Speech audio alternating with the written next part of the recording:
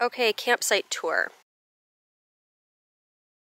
So we're staying in the Birches, and it seems like all the camp spots here have an area where you can drive in and drive straight out.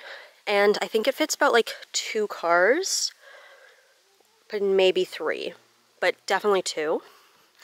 There's actually a lot of trees this campsite. We hung a line there to hang some of our stuff up.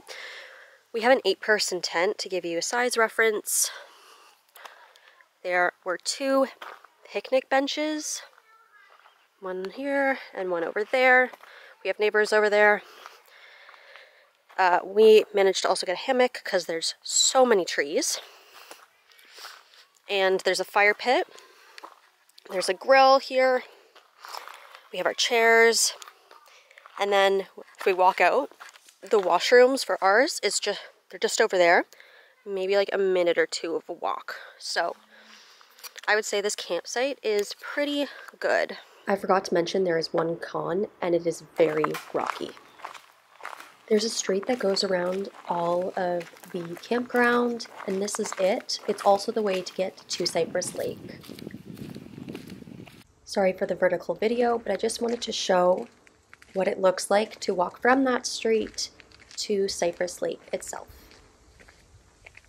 We were at the far side of the campground, so this was just the closest way to get to the lake for us.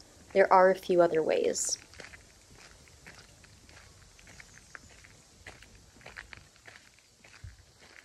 There is a trail that runs all around Cyprus Lake, which is partially wooden, which is what you just see there.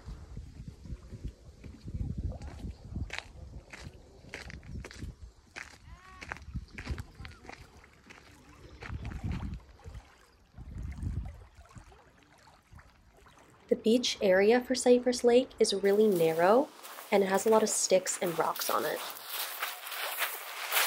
The lake is fairly warm though and a lot warmer than the grotto. The water is fairly shallow, but it's deep enough to go paddleboarding, canoeing, or kayaking.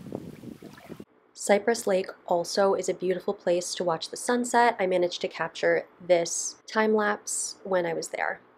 It's also a good spot to try out astrophotography as the park is a dark sky preserve.